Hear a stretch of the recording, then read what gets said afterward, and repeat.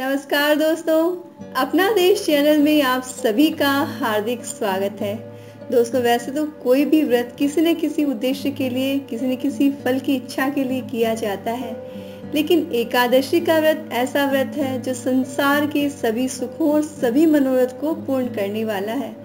इन एकादशियों में वैशाख मास के कृष्ण पक्ष की एकादशी वरुथिनी एकादशी कहलाती है। और इस दिन भगवान मधुसूदन की पूजा की जाती है। ये इस लोक और परलोक में भी सौभाग्य प्रदान करने वाली है। तथा जीवन की सभी सुखों को प्रदान करने वाली है। वरुथिनी एकादशी सबको भोग और मोक्ष प्रदान करने वाली है। वरुथिनी के व्रत से मनुष्य दस हज़ार वर्षों की तपस्या का फल प्राप्त कर लेता है। किंतु इस व्रत को करने वाले व्यक्ति को कुछ नियमों का पालन करना बहुत आवश्यक है।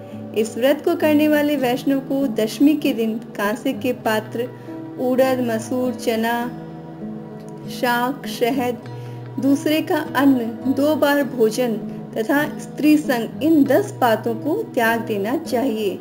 और एकादशी को जुआ खेलना, सोना, पान खाना दांतुन करना दूसरे की निंदा, चुगली, चोरी, हिंसा, रति, क्रोध तथा झूठ बोलना, इन ग्यारह बातों का परित्याग कर देना चाहिए। इस प्रकार संयम पूर्वक वरुथिनी एकादशी का व्रत करने से तथा एकादशी की रात्रि में जागरण करके भगवान मधुसूदन का पूजन करने से व्यक्ति सब पापों से मुक्त होकर परम गति को प्राप्त होता है। साथ ही जीवन की सभी सुख सुविधाएँ और ऐश्वर्य की प्राप्ति भी होती है। इस व्रत के महात्म्य को पढ़ने अथवा सुनने से एक हज़ार गोदान का फल प्राप्त होता है। वरुथिनी एकादशी के दिन वरुथिनी एकादशी के व्रत की कथा अवश्य सुननी चाहिए। जिस व्यक्ति के घर पर विष्णु की कृपा होती है, उस घर को माँ लक्ष्मी कभी भी छोड़कर नहीं जाती। अर्थात वहाँ माँ लक्ष्मी सदा सदा के लिए वास करने लगती है।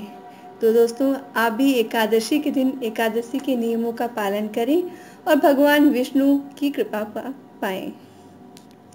उम्मीद है दोस्तों, आपको ये वीडियो अच्छा लगा हो और इस व्रत की कथा सुनने के लिए आप डिस्क्रिप्शन में दिए हुए लिंक पर क्लिक कर सकते हैं।